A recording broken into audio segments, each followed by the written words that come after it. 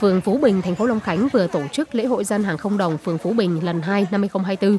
Phiên chợ có tổng số 28 gian hàng với 28 mặt hàng do các mạnh thường quân trên địa bàn phường ủng hộ với nhiều mặt hàng thực phẩm thiết yếu như gạo, bún gạo khô và bún tươi, đậu hũ, trứng gà, mì gói, dầu ăn, rau xanh các loại, bánh mì, nấm khô, gia vị vân vân. Ban tổ chức đã phát 2.500 phiếu mua hàng cho 500 người dân trên địa bàn phường. Mỗi người dân được phát 5 phiếu mua hàng giá không đồng, tương ứng với 5 món hàng có tại phiên chợ. cái à,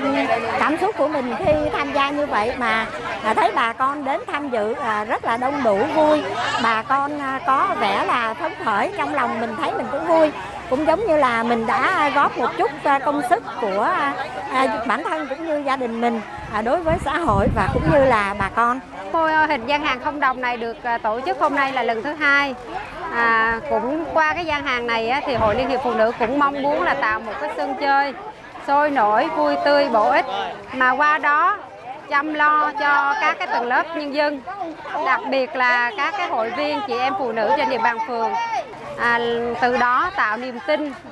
của các tầng lớp nhân dân, hội viên phụ nữ đối với đảng, nhà nước cũng như mặt trận các đoàn thể. Với sự chuẩn bị chu đáo, nhiệt tình tích cực của các mạnh thường quân, cùng sự tham gia của 100% người dân được phát phiếu mua hàng tại lễ hội gian hàng không đồng, sau 2 giờ đồng hồ diễn ra các hoạt động mua bán hàng, toàn bộ các mặt hàng đều được người dân đi chợ mua sắm hết. Theo ban tổ chức lễ hội, tổng giá trị các mặt hàng do Mạnh Thường Quân ủng hộ tại phiên chợ là gần 83 triệu đồng.